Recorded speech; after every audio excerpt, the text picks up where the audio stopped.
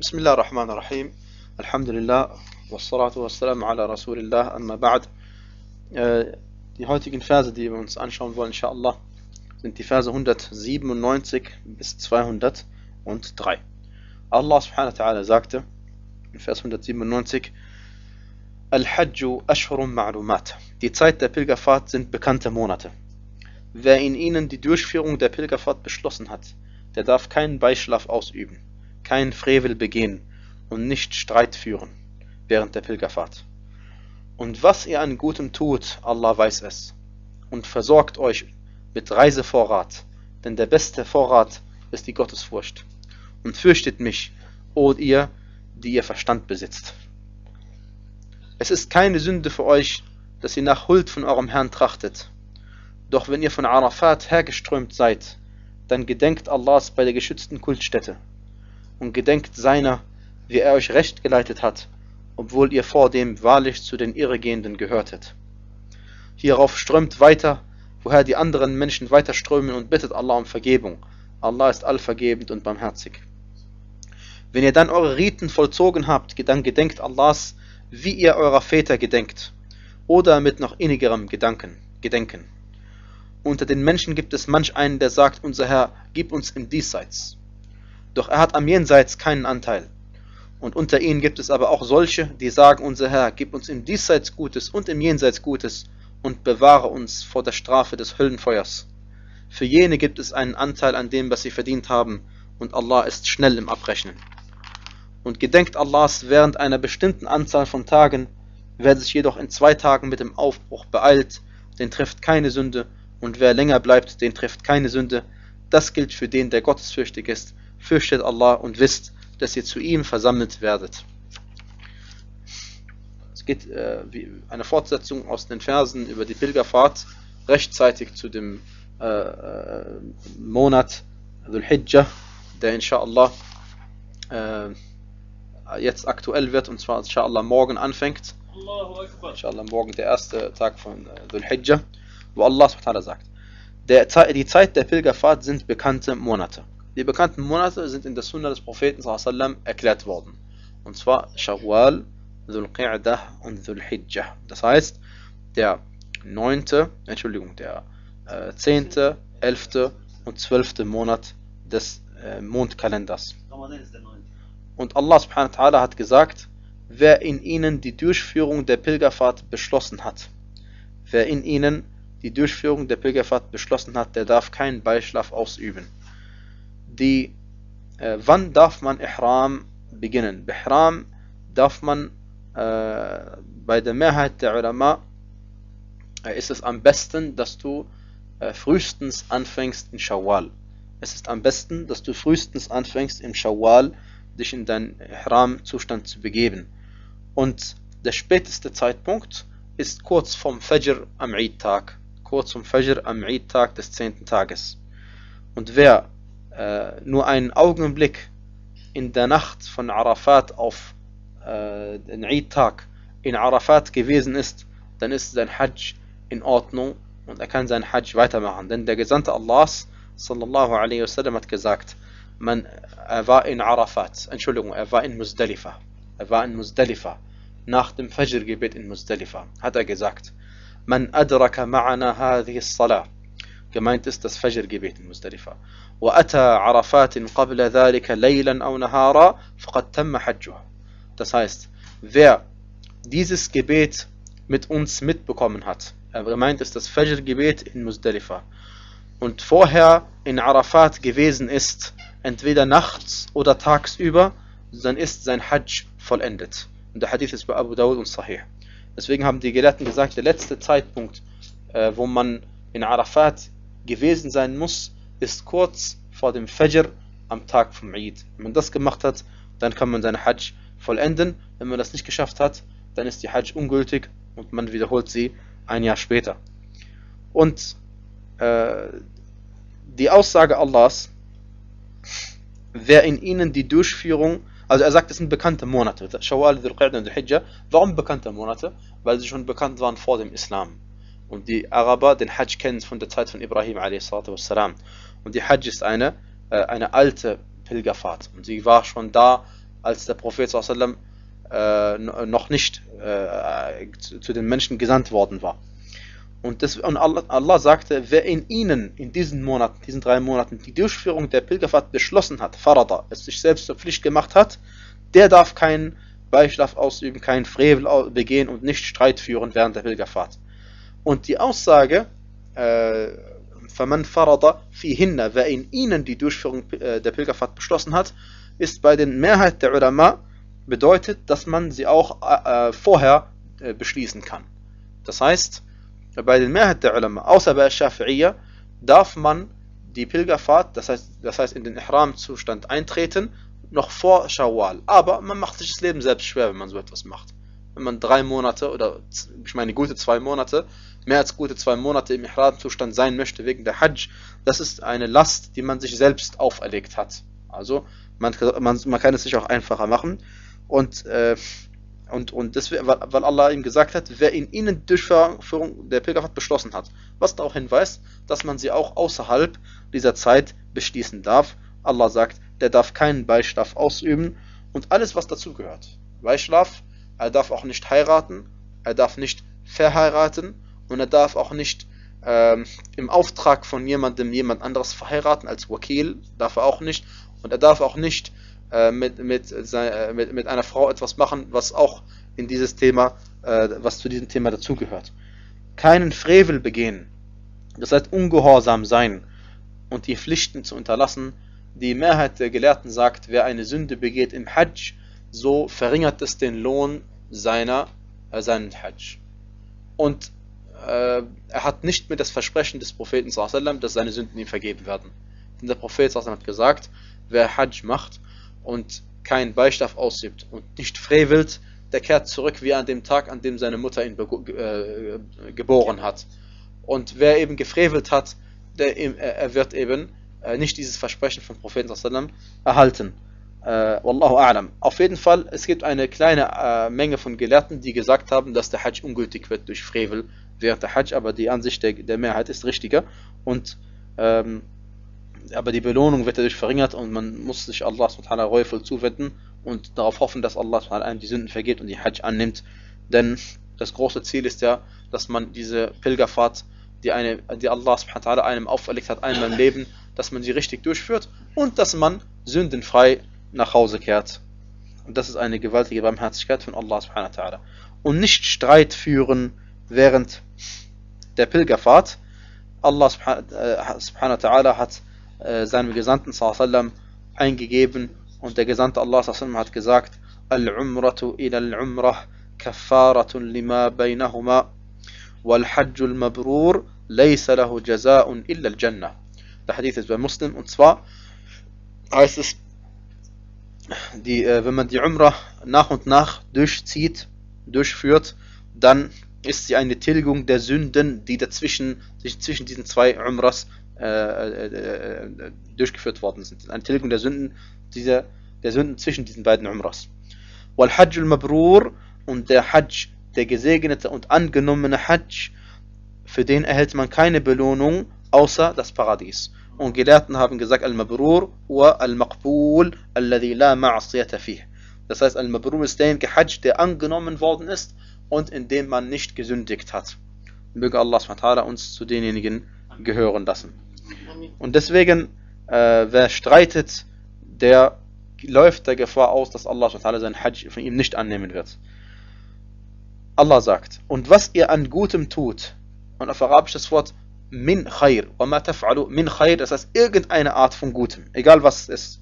Und wenn es nur ist, wie es im Hadith heißt, wer sogar eine gute Absicht, eine gute Tat nur beabsichtigt und sie danach nicht durchführen kann, der wird trotzdem dafür belohnt. Er geht eine Hasana. Und wer sie durchführt, kriegt zehnfach.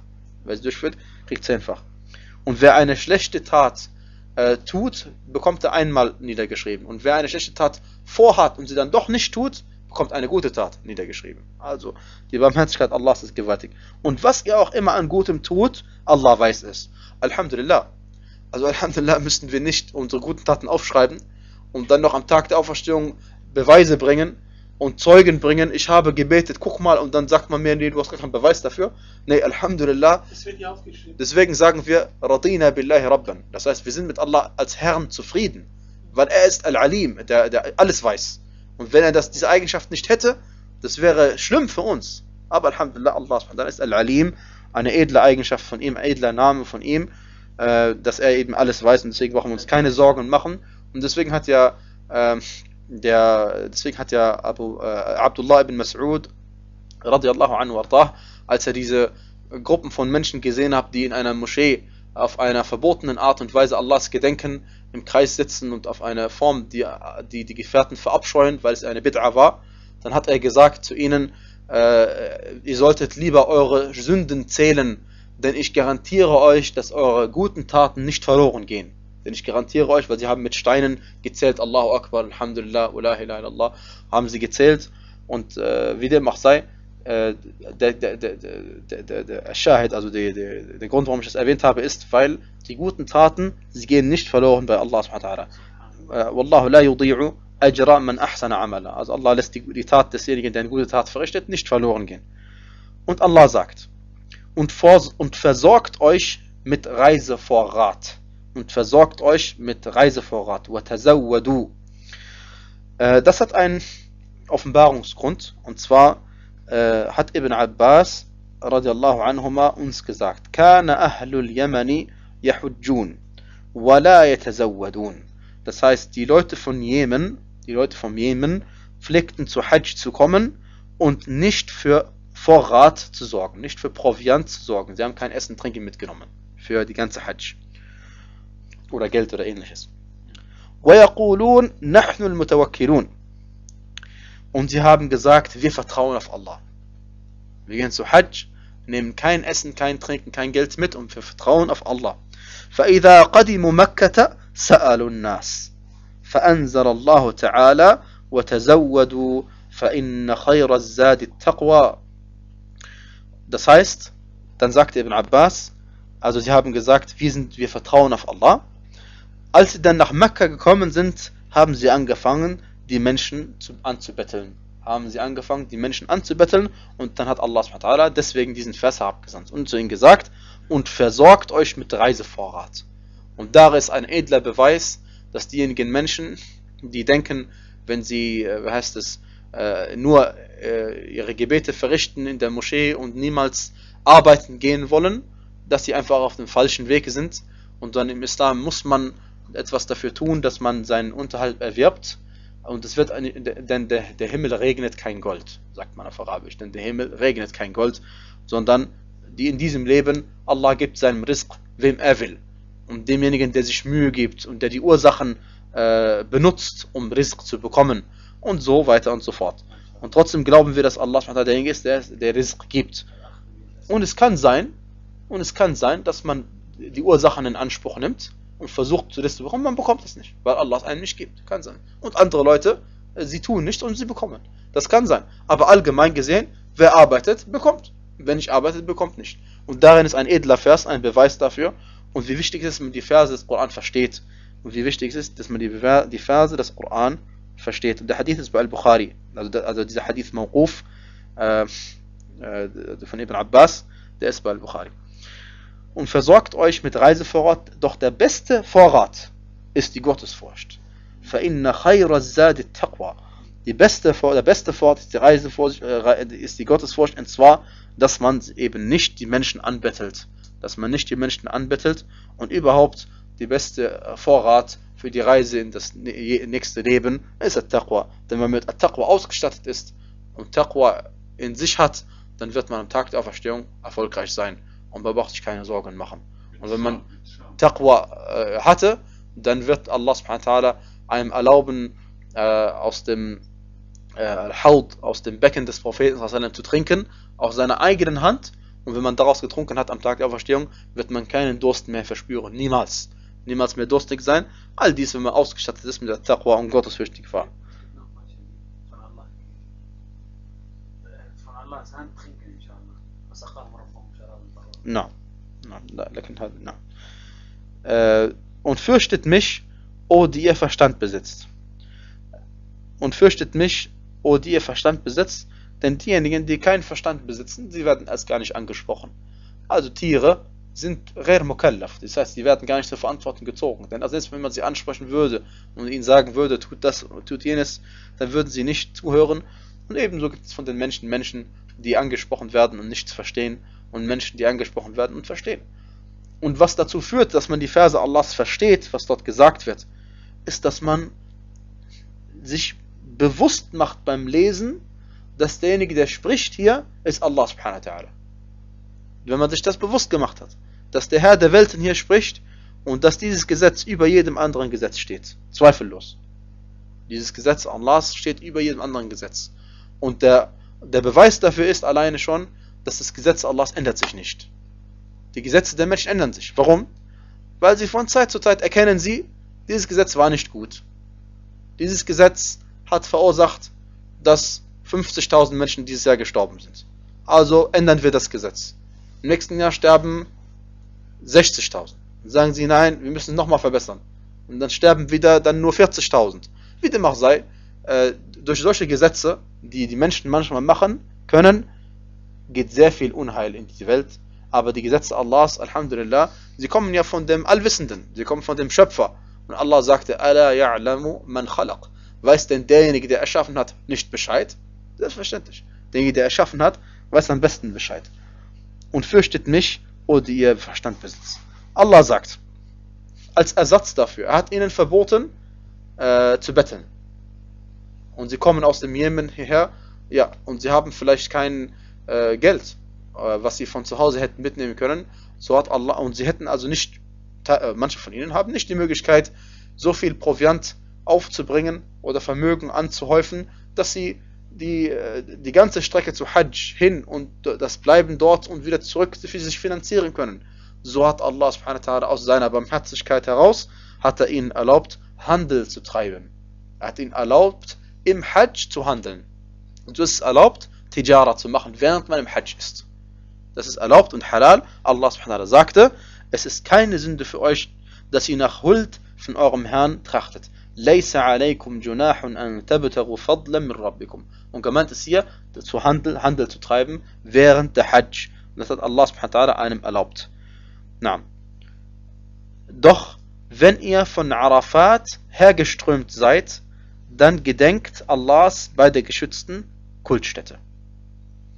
Doch wenn ihr von Arafat hergeströmt seid, wann strömt man von Arafat? Und wohin strömt man nach Arafat? Nach Muzdalifa. Sobald man in Arafat die Sonne untergeht, äh, betet man kein Maghrib-Gebet in, in, in, in Arafat, das ist die Sunna des Propheten, sondern man geht erst nach Muzdalifa und erst wenn man in Muzdalifa angekommen ist, entweder man kommt äh, zur Isha-Zeit an, dann betet man Maghrib und Isha zur Zeit von Isha-Zeit, kommt man früher an, betet man beides zur Maghrib-Zeit. Das ist die Sunna des Propheten sallallahu alaihi wasallam. Das heißt, wenn ihr von Arafat hergeströmt seid, also am 9. Dhul Hijjah nach Sonnenuntergang, äh, dann gedenkt Allahs bei der geschützten äh, Gebetsstätte. Die geschützte Gebetsstätte ist Al-Mash'ar Al-Haram und ist damit gemeint Muzdalifa. Und ist damit gemeint Muzdalifa.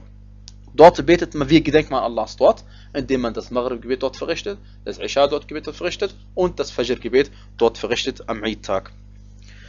Und der, der, Ausdruck von Allah subhanahu wa ta'ala, haram also gedenkt Allahs bei der geschützten Gebetsstätte, ist ein Beleg dafür, dass äh, Muzdalifa gehört zum Haram dazu. Musdalifa gehört zum Haram-Gebiet dazu, zur heiligen Zone dazu und Arafat nicht. Und Arafat nicht. No. Und gedenkt seiner, wie er euch recht geleitet hat, obwohl ihr vor dem wahrlich zu den Irregehenden gehörtet. Die, recht, die, die, die größte Ni'mah von Allah subhanahu wa ta'ala überhaupt ist, dass er uns zum Islam geleitet hat. Die größte Ni'mah von Allah subhanahu wa ta'ala überhaupt ist, dass er uns zum Islam geleitet hat. Und das ist, äh, wie gesagt, eine, ein Tafsir dieses Ausdrucks, also wenn Ni'mah im Koran vorkommt und ein Mufassir sagt, hier ist gemeint der Islam. Der nächste sagt, hier ist gemeint der Iman. Der nächste sagt, hier ist gemeint, dass du die Wahrheit erkennst und so weiter und so fort. All diese Aussagen sind richtig. und widersprechen sich nicht, sondern sie sind sich ergänzend und ein Teil dessen, was Allah subhanahu wa ta'ala gesagt hat. Und ein Teil dessen, was Allah gesagt hat. Und das nennt man auf Arabisch Tafsir al-Shay ba'dihi. Das heißt auf Arabisch Tafsir al-Shay ba'dihi, dass man etwas interpretiert mit einem Teil der Bedeutung dessen, was dort äh, steht. Ja. Allah subhanahu wa ta'ala sagt auch im Surat Al-Imran im 103. Vers und gedenkt Allahs Gunst an euch, Ni'ma, als ihr Feinde wart und dann eure Herzen zusammenführte, worauf ihr durch seine Gunst Brüder wurdet. Und als ihr am Rand einer Feuergrube wart und er euch dann davor errettete. Und als am Rand einer Feuergrube wart und er euch dann errettete durch den Islam. Und äh, Allah sagt, obwohl ihr vor dem wahrlich zu den Irregehenden gehörtet. Was waren die Araber vor dem Islam? Sie waren im Schirk, sie waren im Kufr, es gab Zina, es gab Mord, es gab äh, über Zina sage ich euch etwas. Und als Beispiel, als Beispiel dafür, dass Allah subhanahu wa ta'ala uns äh, recht geleitet hat und auf den richtigen Weg gebracht hat aus dem Irrtum heraus, ist es, was Aisha radiallahu anha uns mitgeteilt hat in der vorislamischen Zeit, um zu sehen, wie in der Irre gefallen die Araber teilweise waren. Sie sagte, dass die Hochzeit äh, in der vorislamischen Zeit äh, gab es vier verschiedene Arten, wie die Menschen geheiratet haben. Es gab vier verschiedene Arten, wie die Menschen geheiratet haben. Die erste Art, sie haben so geheiratet, wie wir Muslime heutzutage heiraten. Die zweite Art ist folgende. Nach einer Menstruation geht eine Frau zu irgendeinem bestimmten Mann, verkehrt mit ihm. Ihr Mann, der sie haben will, hingegen berührt sie in dieser Phase gar nicht. Wenn sie schwanger wird, war es ein Zeichen, dass sie fruchtbar ist. Wenn der Mann sie wollte, konnte er sie dann zurücknehmen, konnte er sie dann nehmen als Frau. Die dritte Möglichkeit war, eine Gruppe von Männern, weniger als zehn, verkehrten alle mit derselben Frau. Wenn sie dann schwanger geworden ist und ihr Kind zur Welt gebracht hat, dann rief sie die Männer zu sich. Sie sucht sich dann den Mann aus, den sie haben will als Vater. Und die vierte Möglichkeit war, Frauen, mit denen jeder verkehren durfte, wenn sie schwanger wurde, wurden die betreffenden Männer gerufen und man schrieb das Kind demjenigen zu, der dem Kind am meisten ähnelte. Und dann sagte Aisha radiallahu anha, als dann Muhammad sallallahu alaihi wasallam mit der Wahrheit gesandt wurde, vernichtete er diese Formen bis auf die Form, die heute noch erhalten geblieben ist. Alhamdulillah. Dann sagt Allah subhanahu wa ta'ala, na, auf jeden Fall, die, der Irrgang sie gehört zu irregehenden, Irrtum war Al-Kufr, Al-Shirk, Al-Zina, wie wir gerade gesehen haben, Mord wegen Ehre, Kriege zwischen Stämmen äh, und im Gegensatz zu Ahl al-Kitab hatten sie nicht einmal ein Buch, an dem sie sich gerichtet haben, weil sie Mushrikin waren. Na, Allah sagt, hierauf strömt weiter, woher die anderen Menschen weiterströmen und bittet Allah um Vergebung. Hier gibt es auch einen Offenbarungsgrund, und zwar, Allah sagte über den Vers, Die Leute von Quraysh sahen sich als Bewohner des Haram. Die Leute von Quraysh sahen sich als Bewohner des Haram, der heiligen Zone, und blieben in Muzdalifah an dem Tag, wo, Arafat, wo die anderen Menschen in Arafat waren. An dem Tag, wo alle anderen Menschen in Arafat waren, sind sie nicht in Arafat gegangen, weil Arafat ist außerhalb des Haram. Und sie wollten als Bewohner des Haram nicht rausgehen und blieben einfach in Muzdalifa dort stehen und sind nicht weitergegangen. Und der Rest war am 9. Tag in Arafat. In Hajjat al-Wada' in der Abschiedspilgerfahrt. Und Abschiedspilgerfahrt heißt nicht, dass der Prophet sallam viele Pilgerfahrten gemacht hat und das war der letzte. Nein. Das heißt, es war die Pilgerfahrt, in der er sich mehr oder weniger von den Muslimen verabschiedet hatte weil er wenige Zeit danach schon gestorben ist. In Hajjat al-Wada' warteten sie ab, was der Prophet macht. Und sie haben gesehen, dass der Gesandte Allah nach Arafat gegangen ist und es liegt außerhalb des Haram. Und dann wurde ihnen angeordnet in diesem Vers, mit den Menschen zusammen nach Arafat zu gehen und dann von Arafat nach Muzdalifah zu strömen, weil es Menschenmassen sind. ثم أفيضوا من حيث أفاض الناس. Hierauf strömt weiter, woher die anderen Menschen weiterströmen. Also von äh, von, von, von Arafat nach Muzdalifa und bittet Allah um Vergebung. Und deswegen das Wort Thumma hier ist nicht zeitlich zu verstehen. Und auch hierauf ist vielleicht ein bisschen irreführend die Übersetzung. Besser wäre es zu übersetzen hier und außerdem. Besser wäre es zu übersetzen hier und außerdem strömt weiter, woher die anderen Menschen weiter strömen.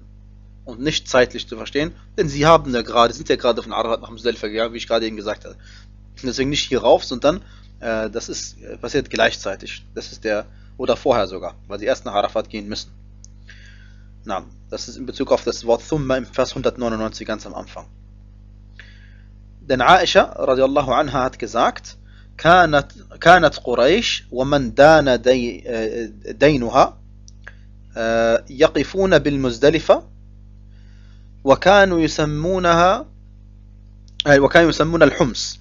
وكان سائر العرب يقفون بعرفات فلما جاء الإسلام أمر الله نبيه صلى الله عليه وسلم أن يأتي عرفات ثم يقف بها ثم يفيض منها فذلك قوله تعالى ثم أفيض من حيث أفاض الناس. Also sie sagt radiallahu anha, dass Quraysh und die Leute, die so genau gehandelt haben wie sie, in Muzdalifa pflegten stehen zu bleiben.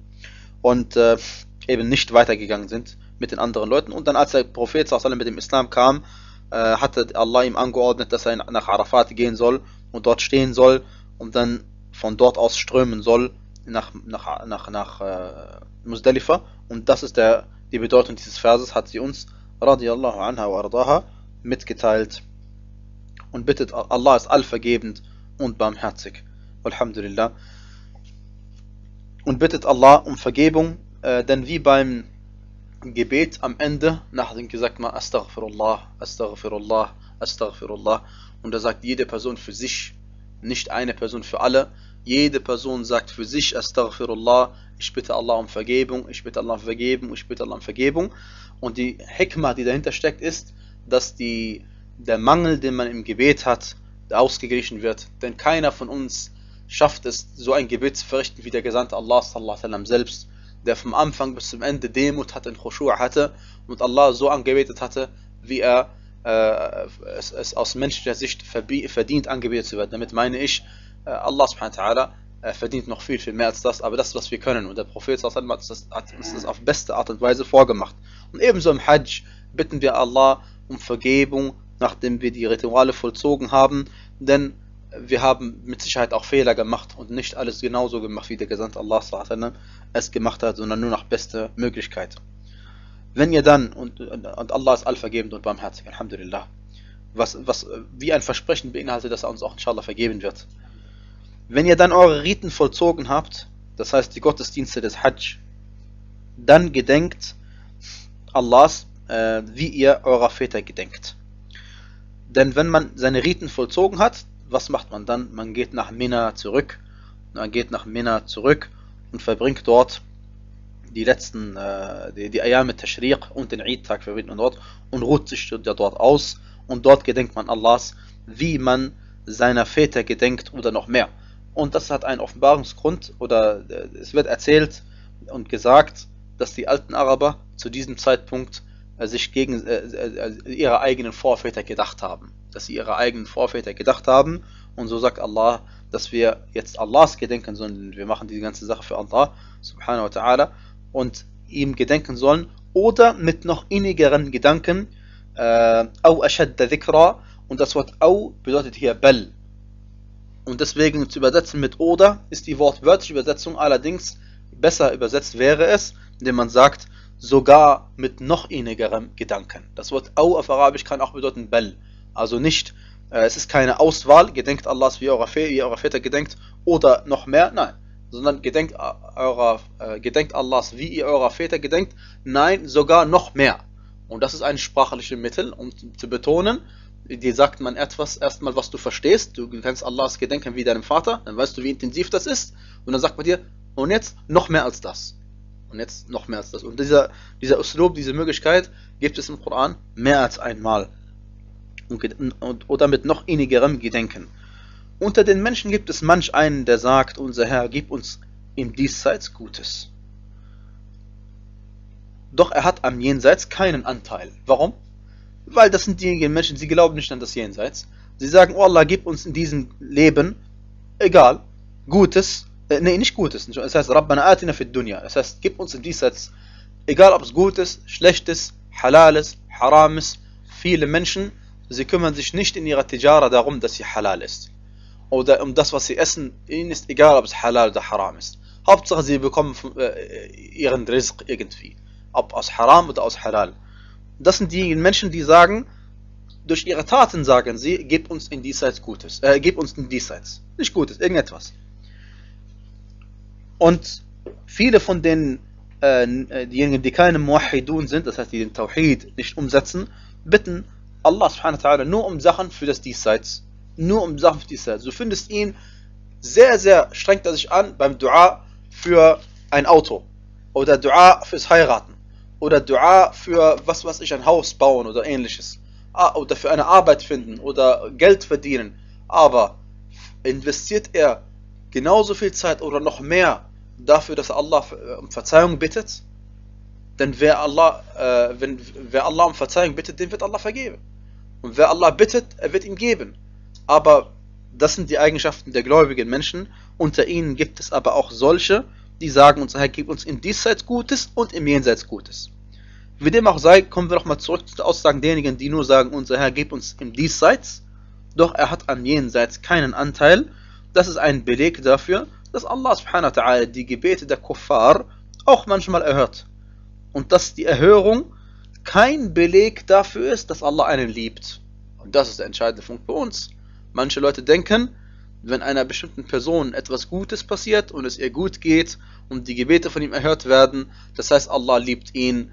Oder sie denken, und das hört man viel, besonders bei den Sufi-Sekten, dass sie sagen, unser Sheikh, der Tariqa, ist ein Wali, weil das und das bei ihm passiert ist. Weil er äh, irgendein Wunder ist ihm passiert. Zum Beispiel, das, das, das, das, das, eines der verrücktesten Sachen, die ich mal gehört habe, war, dass über einen Sheikh erzählt wird, dass er selbst sagt, er sagt, ich war in Mekka und normalerweise macht man ja Tawaf um die Kaaba, aber ich habe nicht Tawaf um die Kaaba gemacht, sagt er, sondern die Kaaba hat Tawaf um mich gemacht.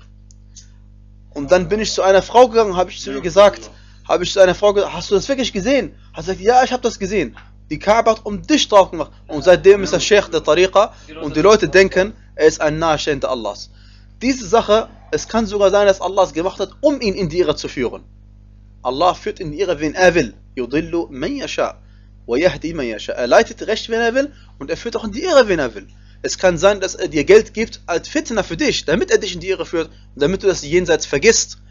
Und deswegen ist für manche Leute Geld schlecht. Für manche Leute Geld schlecht. Und deswegen ist ein, so ein, ein, solche sogenannten Wunder heißen nicht, dass diese Person was Besonderes ist. Im Gegenteil, es kann eine Niqma für ihn sein. Es kann etwas, eine üble Sache für ihn sein. Und für den Gläubigen ist eine Karama. Ist eine gute Sache. Aber für, den, für denjenigen, der nicht auf dem richtigen Pfad ist, ist eine schlechte Sache, weil er denkt, er ist gut und Allah macht ihn dadurch blind. Und er denkt dann, er, ist, er hat sein Ziel erreicht. Und wenn er dann auch noch ein Extremer ist, dann denkt er, er hat, wie manche verstehen den Vers im Koran falsch, und diene deinem Herrn, bis, die gewiss, bis du die Gewissheit erlangt hast. Manche von diesen extremen Menschen, sie sagen, sobald du die Gewissheit erreicht hast, die höchste Stufe im Glauben, dann brauchst du Allahs nicht mehr zu gedenken, du brauchst nicht mehr beten, und sie verfallen in wirklichen Kufr. Weil jetzt fangen sie an zu leugnen, dass sie beten müssen, und dann sind sie durch Übereinkunft der Muslime aus dem Islam rausgetreten. Und so gefährlich ist es, deswegen äh, nicht jede Sache, die einem passiert, ist ein gutes Zeichen. Was Allah dir gibt an schlechten, Allah sagt doch im Koran, sogar über den Dschihad, sagt er, وَعَسَى أَن تُحِبُّوا شَيْئًا وَهُوَ شَرٌ لَكُمْ Und er sagte, وَعَسَى أَن تَكْرَهُوا شَيْئًا وَهُوَ خَيْرٌ لَكُمْ Es kann sein, dass es eine Sache gibt, die hasst ihr, aber sie ist gut für euch. Und es kann sein, dass es gibt eine Sache, die liebt ihr und die ist schlecht für euch. Und deswegen, diese Sachen beweisen nicht, dass Allah einen liebt oder nicht, sondern äh, wer, wer, wer, wer äh, auf dem richtigen Weg ist und ihm passieren, passieren gute Dinge, so soll er Allahs äh, gedenken und Allah loben. Und wenn ihm was Schlechtes passiert, wie es im Hadith Qudsi heißt, er soll dann niemanden tadeln, niemanden tadeln außer sich selbst. Unter ihnen gibt es aber auch solche, unter den Menschen, die sagen, unser Herr gibt uns im Diesseits Gutes und im Jenseits Gutes. Das sind die Rechtschaffenen, äh, Menschen, die so etwas sagen, im Diesseits Gutes, rechtschaffene Frauen, rechtschaffene Kinder, Halal, Versorgung und im Jenseits Gutes, die Errettung aus der Hölle und das Paradies und bewahre uns vor der Strafe des Höllenfeuers und bewahre uns vor der Strafe des Höllenfeuers. Qatada, äh, rahimahullah, einer der Tabi'in, er sagte, ich habe Anas, äh, radiallahu anhu, ardahu, gefragt, dem Diener des Propheten, sallallahu alaihi wasallam.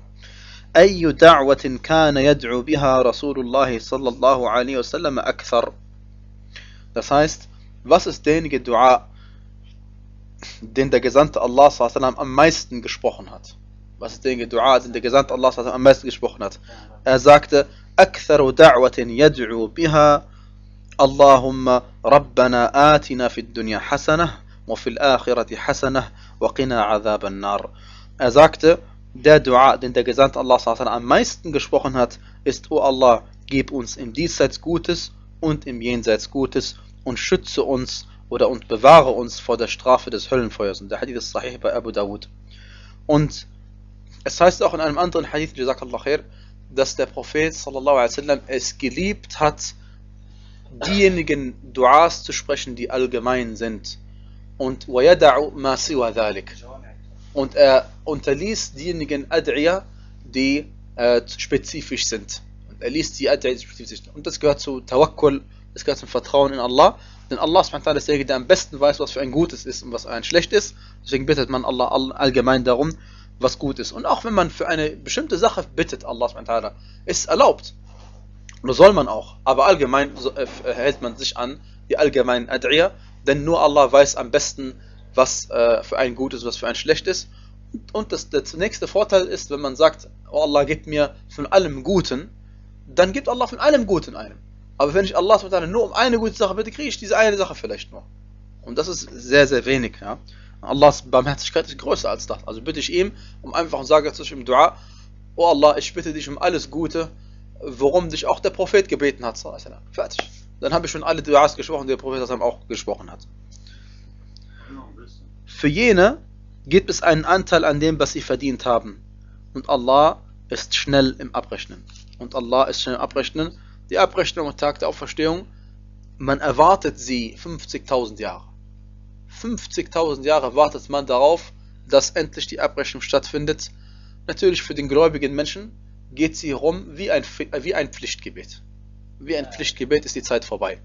Und sie werden sich aufhalten, wo? Im Schatten Allahs. Sie werden sich aufhalten im Schatten Allahs. An, an einem Tag, an dem es kein Will gibt, Schatten gibt, außer einem Schatten, aus Schatten Allahs. Und wie die gesagt wird, Gelehrten ist der Schatten des Thrones. Oder ein Schatten, den Allah erschaffen hat. Ein Schatten, den Allah erschaffen hat. Na. Auf jeden Fall, weil in einem Hadith heißt es nämlich der Schatten des Thrones. Weil in einem Hadith heißt es Schatten des Thrones. Und Allah subhanahu wa ta'ala, weil es ist nicht vernünftig zu sagen, der Schatten von Allah selbst, ja, weil die Sonne ist viel kleiner als Allah. Allahu Akbar, Allah ist größer als alles andere. Deswegen kann man nicht sagen, deswegen kann man nicht sagen, eine, eine, eine, dass die Sonne äh, den Schatten Allahs wirft. Nein, auf keinen Fall. Und, das, äh, und, und, und äh, wer heißt das? das ist der Schatten des Thrones oder ein Schatten, den Allah erschafft. Und darunter werden die gläubigen Menschen sein und es genießen, mit den äh, Propheten zusammen zu sein. Und dann wird die Zeit äh, der, der, die Zeit der, der dieser 50.000 Jahre wird vorübergehen wie ein Pflichtgebet und danach, wenn dann das Gericht endlich anfängt, was passiert dann? Dann wird das Gericht in einem Augenblick fertig sein. Also, Aber werden, werden die ungläubigen, ungläubige Leute, also die Menschen, die gläubige Menschen sehen, dass die Schatten haben und sie nicht äh, rüberlaufen können? Allah, warum nicht? Kann sein. sich ja sehen. Oder?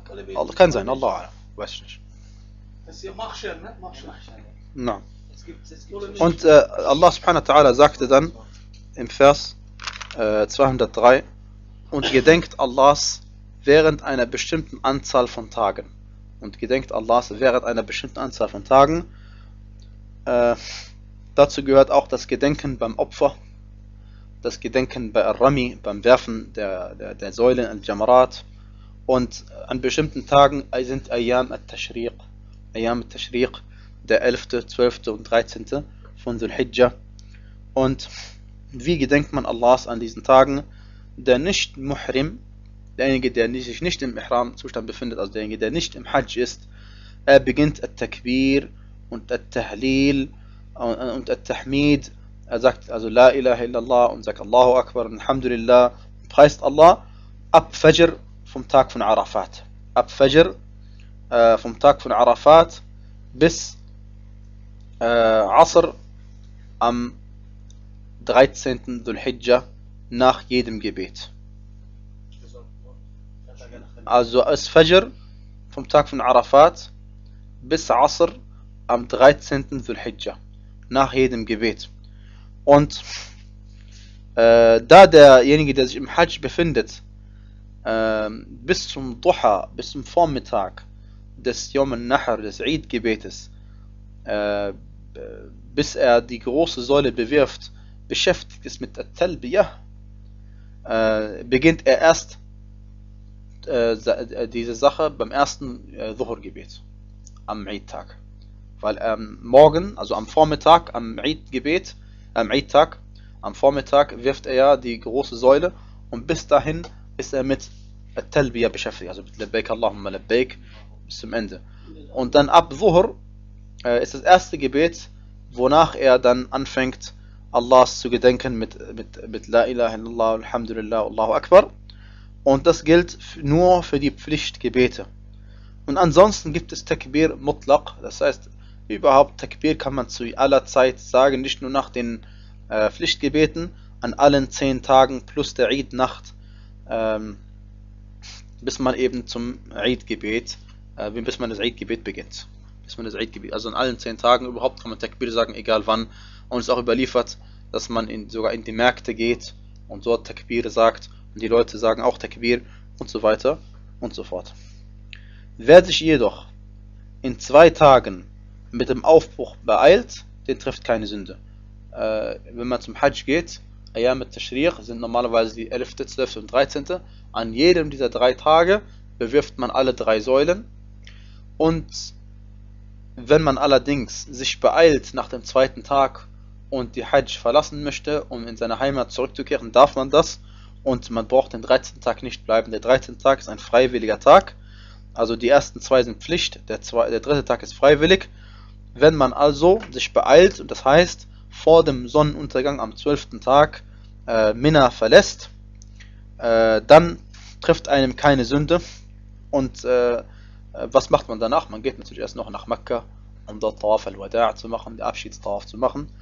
Und wer länger bleibt, den trifft auch keine Sünde. Das heißt, wer länger bleibt bis zum 13. Tag und dann noch einmal alle drei äh, Säulen zum dritten Mal bewirft, dann den trifft auch keine Sünde. Das gilt für den, der gottesfürchtig ist und nicht für denjenigen also, der den 13. Tag weglassen will, damit er äh, der Sunna aus dem Weg geht oder für jemanden, der Abscheu empfindet gegenüber ein Nusuk, diesen Ritualen des Hajj, für den gilt diese Erlaubnis nicht. Und fürchtet Allah und wisst, dass ihr zu ihm versammelt werdet. Und fürchtet Allah, indem ihr tut, was er von euch verlangt. Und wisst, dass ihr zu ihm versammelt werdet. Und deswegen, egal was ihr in eurem Herzen verbergt, verbirg, verbergt, so wird Allah es offenkundig, äh, wird es kund, euch kundtun und wird euch sagen, was ihr in euren Herzen gehabt habt so bringt es nichts, es für euch selbst zu verheimlichen, denn am Tag der Auferstehung wird er euch sagen, was ihr getan habt. وصلى الله وبارك على نبينا محمد وعلى آله وصحبه وسلم تسليما كثيرا